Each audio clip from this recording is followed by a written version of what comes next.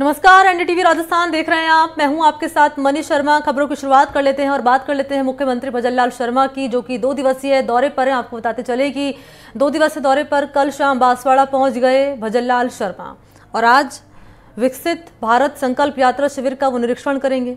इससे पहले पार्टी कार्यकर्ताओं के साथ बैठक भी उन्होंने की है। पार्टी कार्यकर्ताओं और पदाधिकारियों से संवाद का दौरान यहाँ पर मुख्यमंत्री भजनलाल शर्मा, इंदिरा रसोई योजना को लेकर गंभीर आरोप उनकी ओर से लगाया गया है। भजनलाल शर्मा ने यहाँ कांग्रेस को कटघरे में खड़ा करते हुए इंदिरा रसोई योजना में घोटाले का आरोप लगाया है। भजनलाल शर्मा कह रहे हैं कि गाँव में 100 और शहरों में 200 थालियाँ दी जा रही थी, जो बड़े घोटाले की ओर इशारा करती है। मामले की जाँच कराई जाएगी। अगर भ्रष्टाचार सामने आया तो दोषियों को बख्शा नहीं जाएगा। भजनलाल शर्मा ने पेपर लीक को लेकर कांग्रेस पर निशाना साधा आपको बताते चले कि सत्ता में आते ही भजनलाल सरकार ने इंदिरा रसोई योजना का नाम बदलकर श्री अन्नपूर्णा रसोई योजना कर दिया था। इसको लेकर खूब सियासत भी हुई थी। अब भजनलाल शर्मा के आरोपों से कांग्रेस के लिए नई मुश्किलें खड़ी हो गई हैं। और यहाँ भजनलाल शर्मा ये भी कह रहे हैं कि कांग्रेस सरकार ने अन्नपूर्णा रसोई से इंदिरा रसोई घर नामकरण करने के बाद भी इसमें भ्रष्टाचार किया।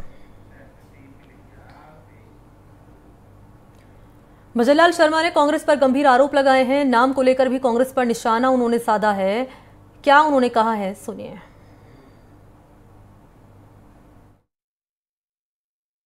हमसे कहते हैं, आपने नाम बदला है। हमने कहा, हमने नाम नहीं बदला है।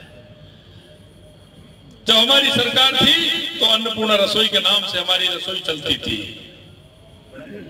नाम तो आपने बदला है कि उसका बदल करके इंदिरा रसोई कर दिया था। और उसमें भी मैं आपसे कहना चाहता हूँ कि उन्होंने इंदिरा गांधी रसोई के नाम से चलाया और उसमें भी चलाया कि सौ थाली सुबह, सौ शाम को, सौ थाली गाँव में। अरे आपने कहीं कोई देखा है क्या? सौ थाली गाँव में कोई इंदिरा रसोई में चल रही है क्या? कहीं आप गाँव से भी आते हैं, गाँव से भी आपका संपर्क है, कहीं सौ थाली किसी गाँव में है क्या? नौ सौ बयासी स्थानों पर सौ सौ थाली चलने का काम इन कांग्रेसियों ने किया है। कितना बड़ा घोटाला है, मैंने कहा, जाँच भी कराऊँगा। ये साढ़े चार सौ ग्राम सामान उसमें दे देते थे चार, साढ़े चार सौ ग्राम भोजन का पूरा मिला करके।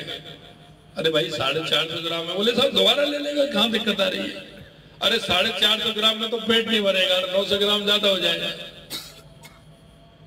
तो उसका पैसा भी जाएगा और अन्न भी खराब होगा। हमने कहा ऐसे नहीं चलेगा। हमने उसमें साढ़े चार सौ ग्राम से बढ़ा करके हमने छह सौ ग्राम किया।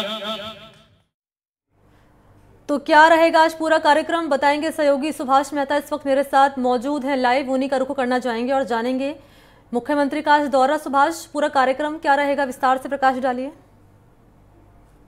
मैंने मुख्यमंत्री भजनलाल शर्मा कल देर शाम को वहाँ पहुँचे थे और उसके बाद में काफ़ी देर ग्यारह बजे तक प्रोग्राम तय था।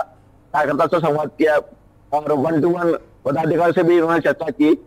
सुबह दस बजे भजनलाल मुख्यमंत्री मंदिर में पहुँचेंगे, जहाँ पूजा अर्चना करेंगे और उसके साथ ही पास में गाँव है तलवा वहाँ पर विकसित भारत संकल्प शिविर में आयोजित कार्यक्रम में शामिल होंगे और वहाँ लाभार्थियों से बातचीत करेंगे। साथ ही वहाँ पर एक सभा को भी संबोधित करेंगे और उसके बाद दोपहर सवा बजे उनका जयपुर के लिए रवाना होने का भी करेंगे।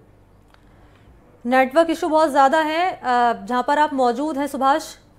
स्पष्ट तौर पर समझ नहीं आया कि आपने जानकारी दी। बहरहाल आपसे ये भी समझना चाहेंगे मैं चाहूँगी थोड़ा नेटवर्क एरिया में आकर आप जानकारी दें कि आ, क्या कोई बड़ी घोषणा भी इस दौरान कर सकते हैं कि भजनलाल शर्मा या कोई महत्वपूर्ण बैठक भी होने वाली है इस दौरान?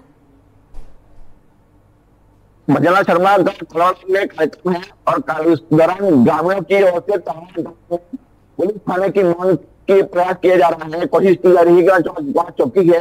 चौकी को थाने में बदल दिया जाए, ऐसा तलाड़ा गाँव के लोगों की डिमांड है।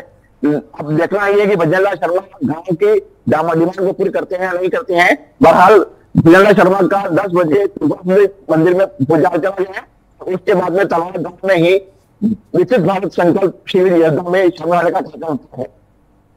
ठीक है, आपका शुक्रिया तमाम जानकारी के लिए।